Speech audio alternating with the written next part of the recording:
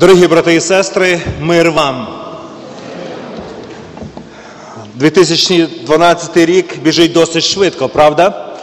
І буквально післязавтра вже можемо сказати, що кожен сьомий день Нового року ми вже прожили. Час біжить досить швидко, і це рік, який, про який ніхто нічого доброго не прогнозував, але ми живі, ми здорові, є в нас, звичайно, свої питання. Ми сьогодні на служінні слухаємо прекрасний спів, прекрасну поезію і, звичайно, скажемо слава Богу. Почавшись новий рік, звичайно, ставить свої запитання. Є певні ситуації, ми чуємо новини, хвороби, непорозуміння, якісь інші труднощі, з якими ми зустрічаємось.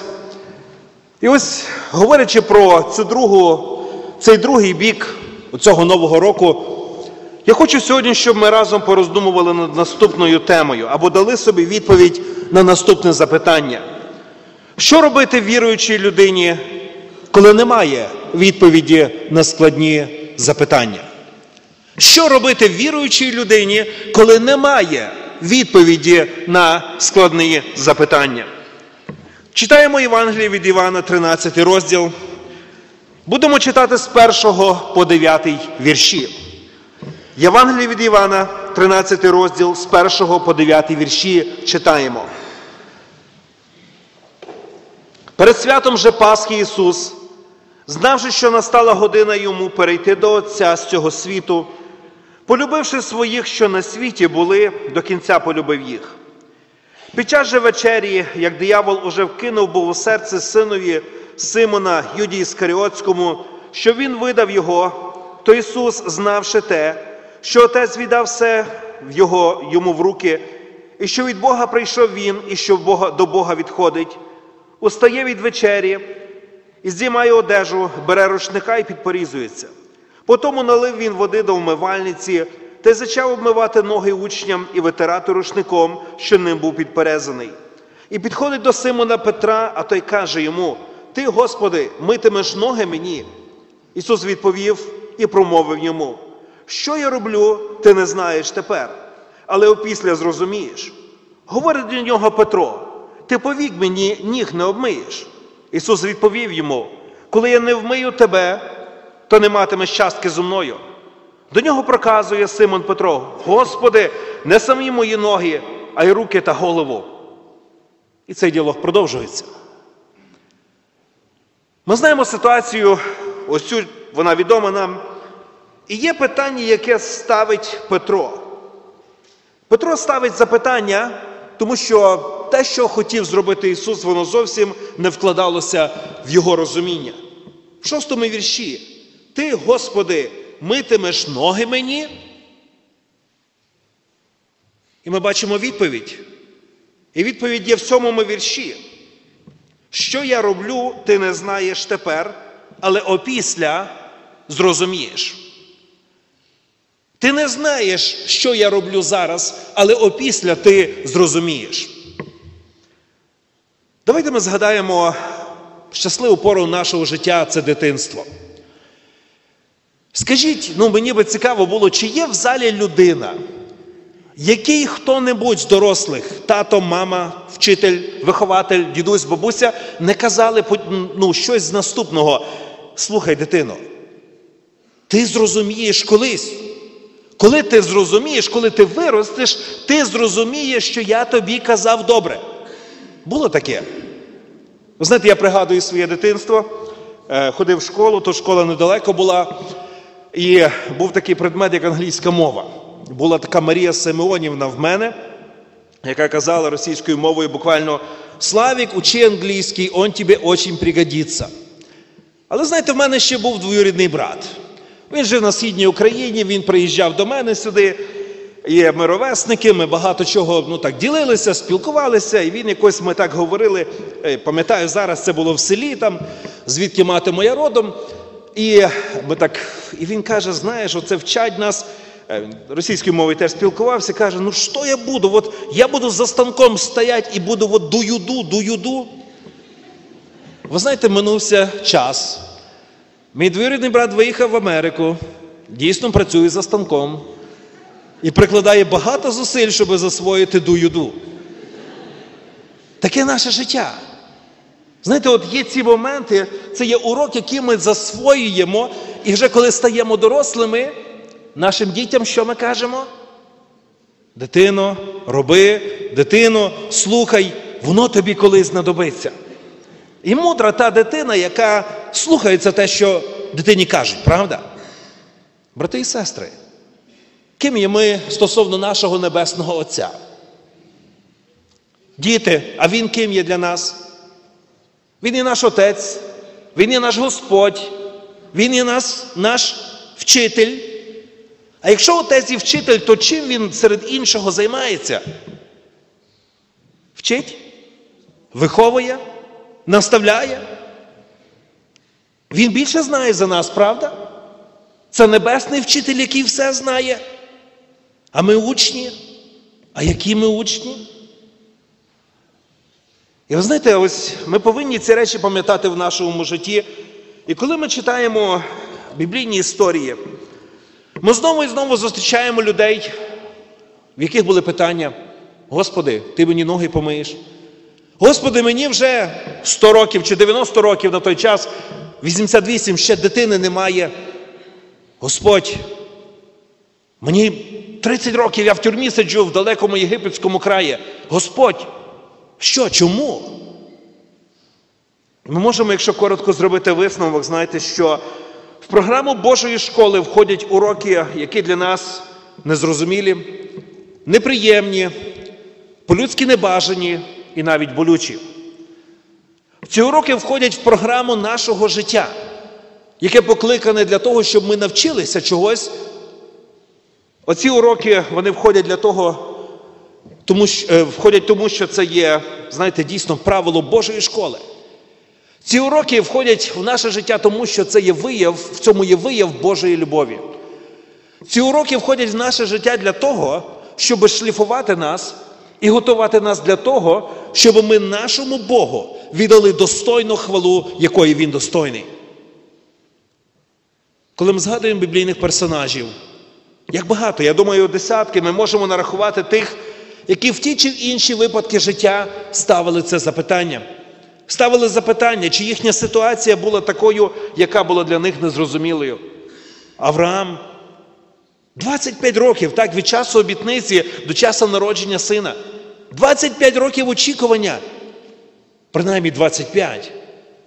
Коли ми згадуємо про Йова, втрата майна, втрата дітей, втрата здоров'я, втрата здоров'я.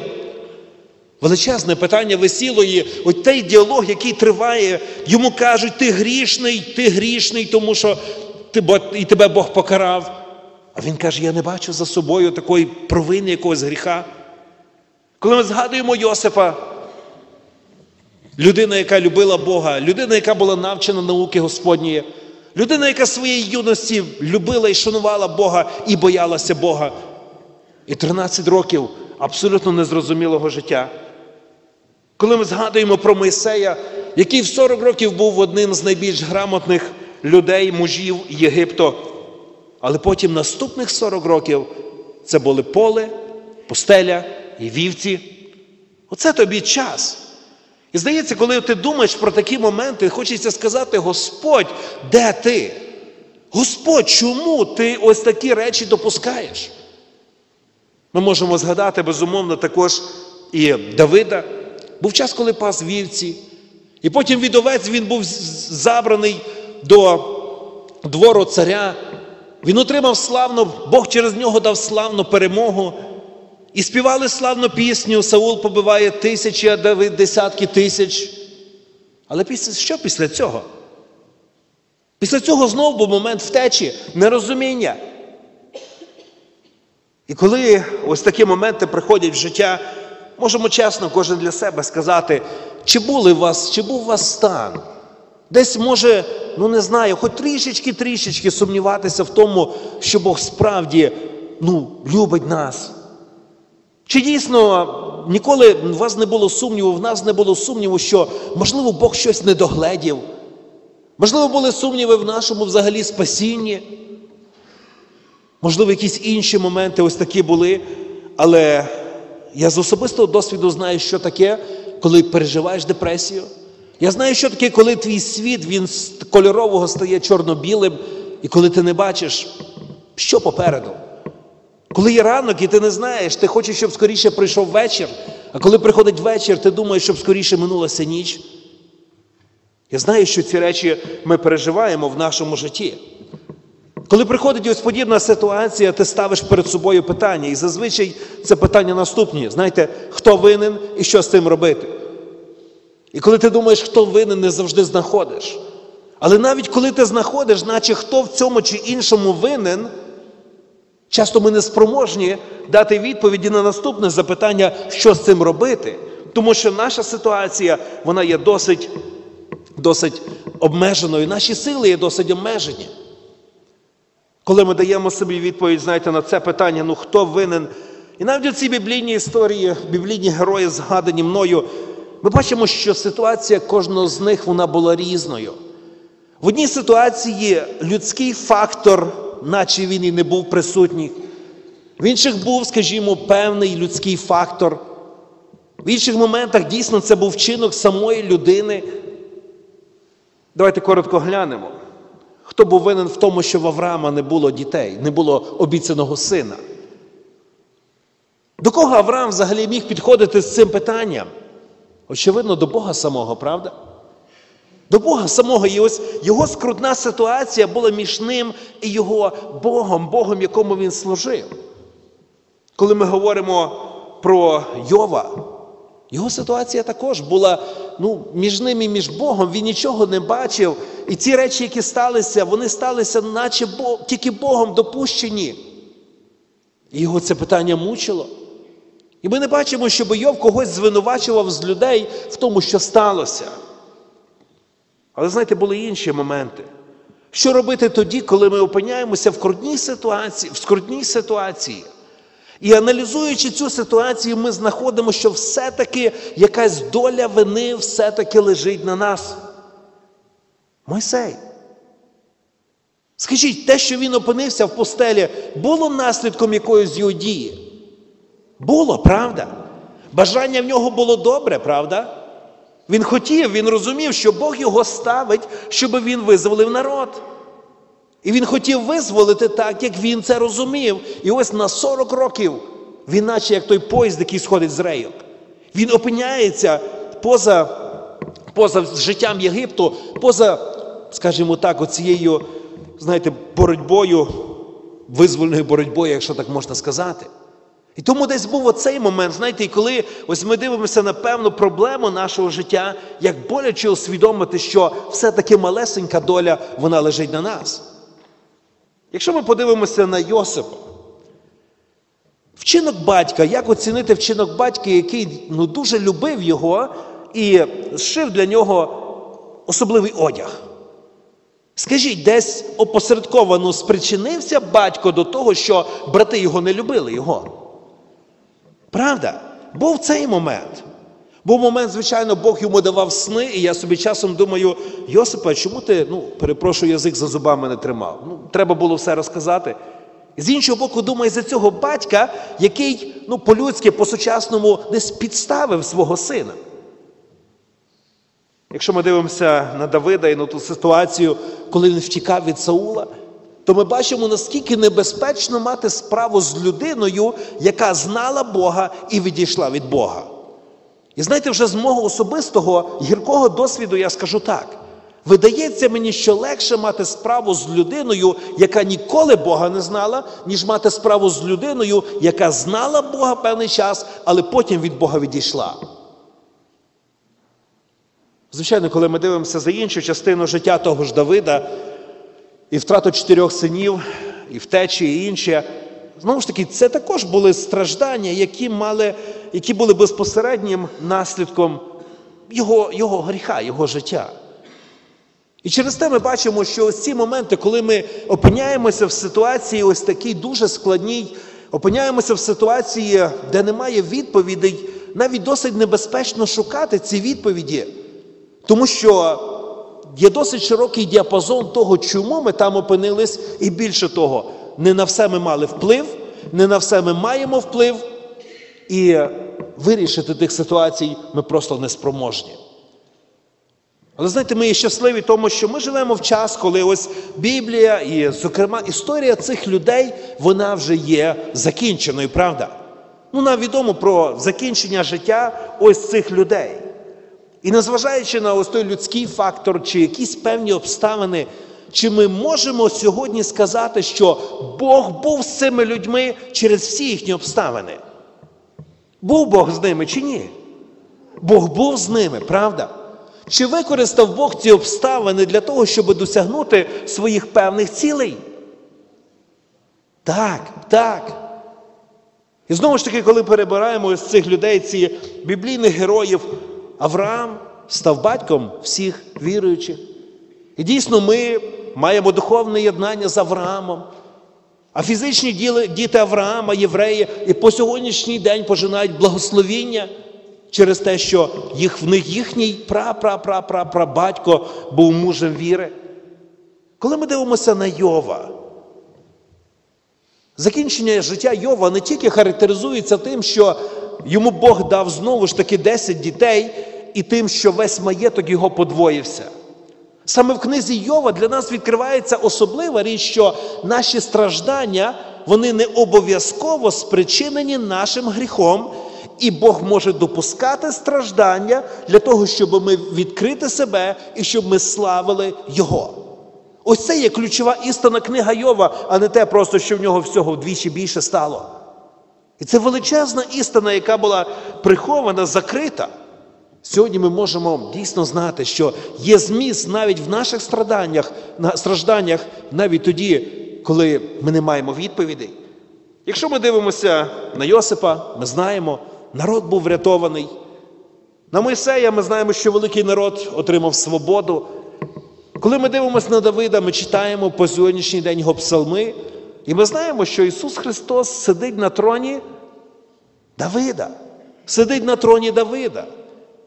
І ось ці інші інші герої біблійні, і ми в цьому можемо бачити, що Господь благословив.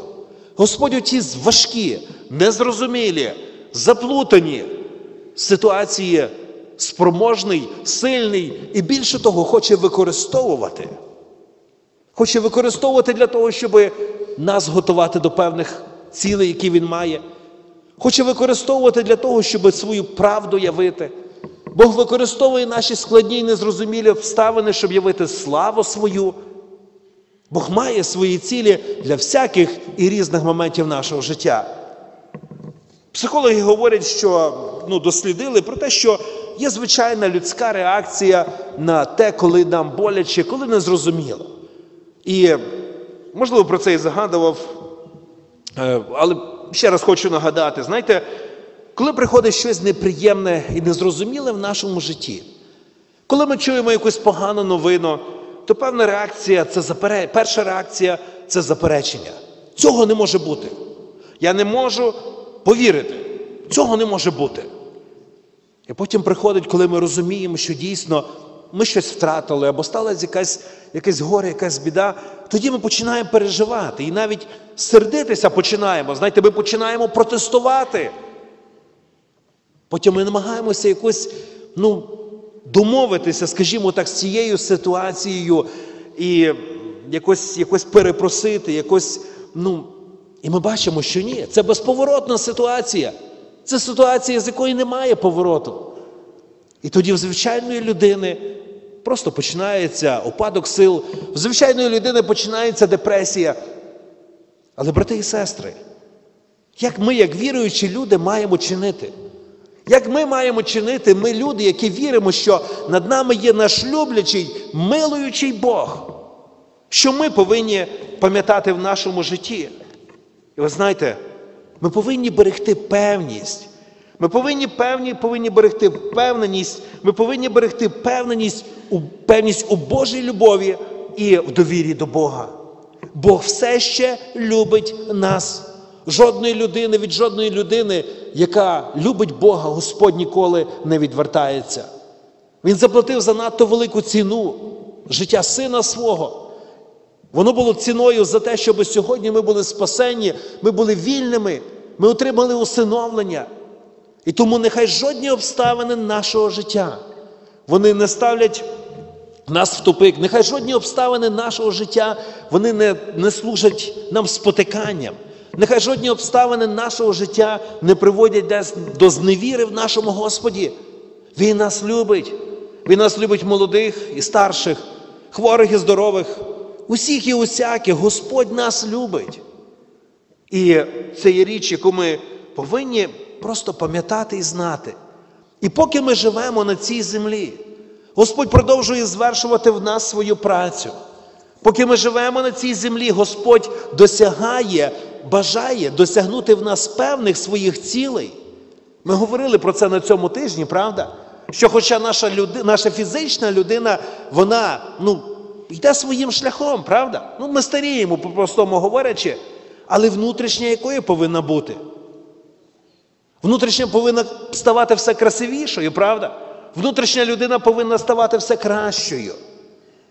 Я хочу сказати, що навіть тоді, коли нам приходиться жити з наслідками нашого гріха, ми зробили якийсь певний вчинок, і цей вчинок залишив свою рану, свій шрам на все наше життя, то і тоді ми маємо бути впевненими, що Господь подає і буде подавати нам благодать. Скажіть, якщо ми зробили і сталося так в житті, що ми зробили, ну, гріх зробили, ми зробили якийсь вчинок, який залишив глибокі рани.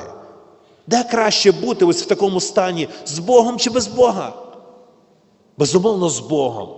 І тому, брати і сестри, якщо наша ситуація така, що ми живемо по житті зі шрамами, з тим, що приніс гріх, який ми чинили, чи в якому ми жили, навіть і тоді ми в кращому стані.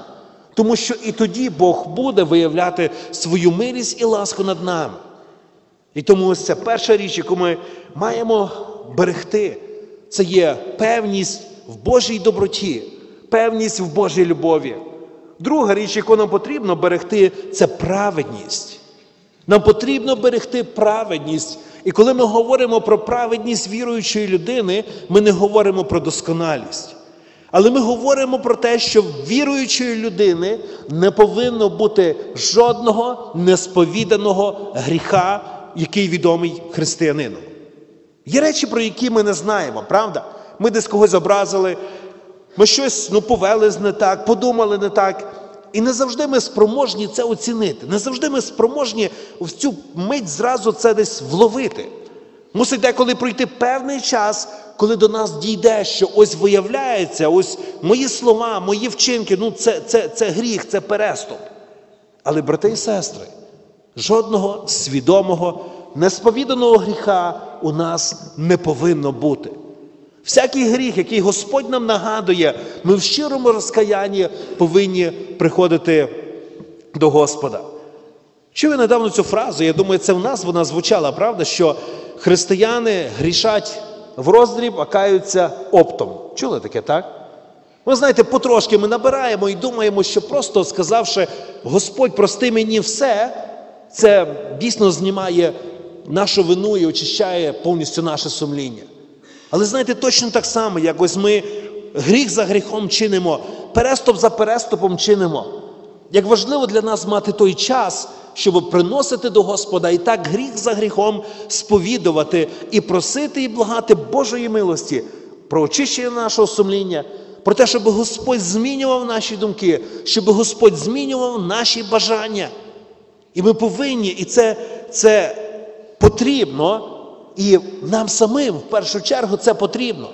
Тому що тільки так приходить свобода. Ви знаєте, є така річ, що коли людину образили, коли людині боляче, то вона десь починає вірити, що вона також має право ображати інших.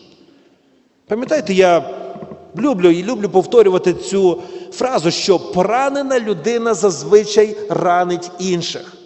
Якщо навколо є людина, і ти бачиш, що ця людина вона поводиться так, що іншим вона, знаєте, приносить болі, то швидше за все ця людина сама поранена.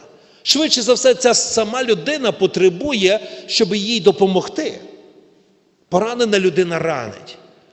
І тому, якщо проти нас грішили, Якщо в нас ситуація, знаєте, складна і е, якась така болюча, і нам зовсім видається, що вона і несправедлива, це жодним чином не є оправданням для того, щоб ми чинили несправедливість і біль щодо інших людей.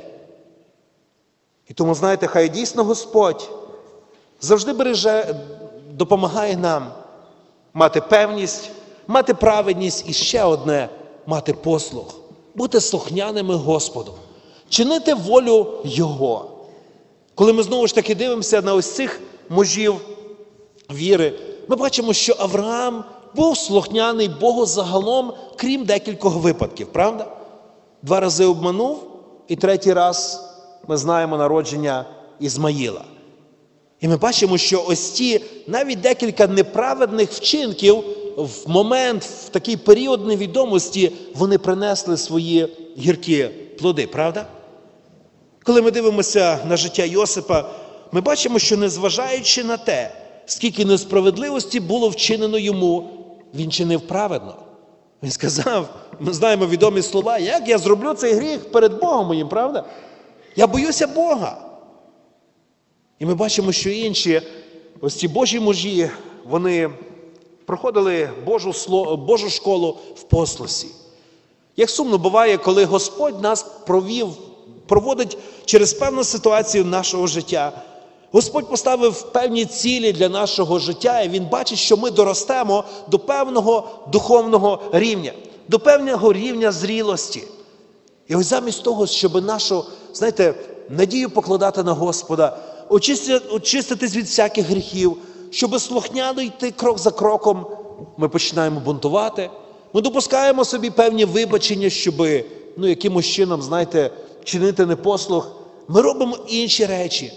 І минається певний час, але урок залишається невивченим, і курс залишається непройденим. Тому хай Господь дійсно нам допомагає. І якщо здається нам, знаєте, що наші обставини вже абсолютно невиносимі, якщо здається, що ну все перед нами найгірше, знаєте, як один казав, каже, ну що мені може бути найгіршим? Ну, напевно, найгірше це коли я вже помру. Але для віруючої людини, для якої життя Христос, смерть є надбанням. Ми читали про цей вірш навіть сьогодні зранку, що ті, хто вмирають в Господі, вони які? Блаженні. Знаєте, тут справа просто така, що нам ніхто не повертався з того світу і не сказав, знаєте, дійсно блаженні ті, хто помирають. Але ми віримо Господу, що вони блаженні, правда? Я знаєте, ще хочу зачитати три вірші це римлянам, 14 розділ, 7 по 9 вірш, і ми будемо молитись. Римлянам 14 розділ 7 по 9 вірші. Бо ніхто з нас не живе сам для себе, і не вмирає ніхто сам для себе. Бо коли живемо, для Господа живемо, а коли вмираємо, для Господа вмираємо. І чи живемо, чи вмираємо, ми Господні. Бо Христос на те й умер і ожив, щоб панувати і над мертвими, і над живими. І отож ці слова. І чи живемо, чи вмираємо, ми Господні. Нехай вони будуть підбадьоренням для нас. І нехай, коли ми зустрічаємося з ситуаціями, на які не маємо відповідей, повіримо нашому Господу, який сказав: ти не розумієш, що я роблю, ти не знаєш тепер. Але опісля зрозумієш. Амінь. Помолимось.